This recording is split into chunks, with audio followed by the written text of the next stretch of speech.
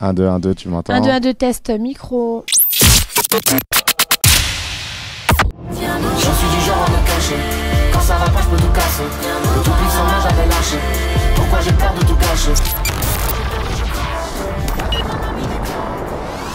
Complètement. On a eu la même réaction tous les deux parce que c'était une idée de, nos, équipes proches. On a eu tous les deux euh, des doutes en fait. On a eu l'envie et le doute qui nous a partagé euh, par rapport au timing parce qu'on était à un moment donné où on avait prévu d'envoyer encore un album solo chacun. On s'est dit c'est génial, mais est-ce que ça doit se faire maintenant? On se l'est dit tout de suite. Ça nous a vachement détendu et puis on s'est dit rentrons en studio. S'il y a une magie, on y va et si ça marche pas, on le fera pas.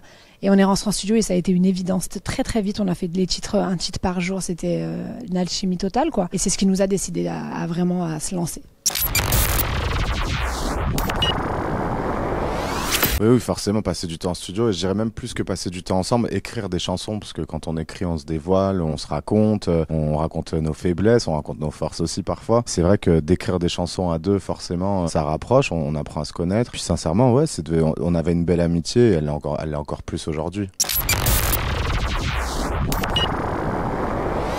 À un moment donné, tu mets ton ego de côté. C'est un album à deux, c'est pas un album solo. Tu mets ton talent au service d'une chanson plus que la chanson au service de ta voix parce qu'on est deux, donc c'est énormément de compromis, de concessions. Les gens l'entendent pas dans une chanson. Tout l'album, ça a été des concessions vocalement parce qu'on a des voix diamétralement opposées. Donc il y a des chansons où c'est lui qui prend la lead, des fois c'est moi. C'est tout un travail harmoniquement, c'est assez, assez compliqué. Et en même temps, ça nous a éclaté parce que ça nous a fait chanter différemment, euh, aller dans des zones qu'on n'a pas l'habitude d'explorer, dans les flots, dans le chant. Donc euh, c'était un vrai travail euh, sur aussi. Tu sais dans la vie Ça va, ça vient Ça va, ça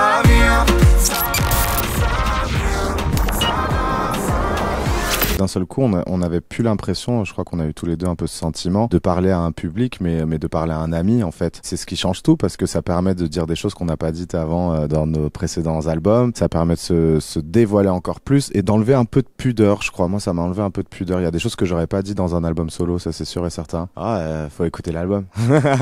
Écoutez Versus déjà. non mais ça, ça enlève de la retenue en fait, vraiment parce que on est dans un dialogue, donc on oublie que euh, c'est des chansons pour le public et on se dit des choses. Il écrit un couplet, j'en écris un autre. Tout est comme ça en ping-pong. On est dans un dialogue, on est dans des conversations. Euh, dans Pas beau, euh, c'est des vrais complexes qu'on a livrés. Moi, je l'ai jamais dit, lui aussi. Il dit quand il était petit, il se sentait pas bien. Euh, moi, je dis que j'ai grandi loin de ces standards-là, et que je me suis jamais sentie belle aussi. On se livre en fait beaucoup plus que quand on est seul ou on est dans une chanson qu'on construit. Dans le titre XY, par exemple, on parle de la place de l'homme et la place de, de, de la femme dans la société et ce qui se passe entre les deux.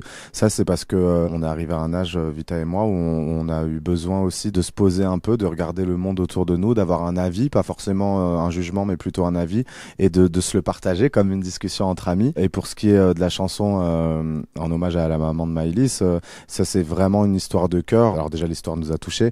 On a reçu un message de, de, sa maman qui nous a bouleversés et c'est c'est c'est devenu une évidence pour nous de lui rendre hommage à travers une chanson.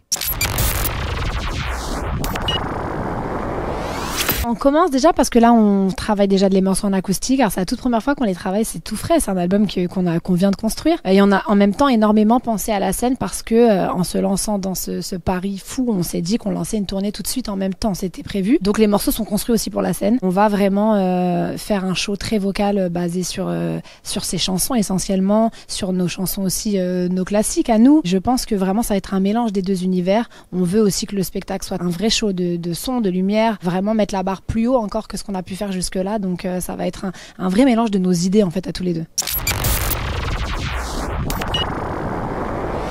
Là, Ça, c'est quand même c'est- ouais et puis c'est différent. différent. L'énergie Music Tour en fait on, on vient avec un DJ alors qu'en tournée on est avec des musiciens etc. Donc c'est pas c'est pas vraiment la même formule. Mais par contre on va on a gardé l'idée d'avoir des chansons de versus et une ou deux chansons chacun euh, solo pour justement montrer aussi que sur sur notre con- sur notre tournée euh, il y aura un peu des deux. Je suis du genre à me cacher Quand ça va pas je peux tout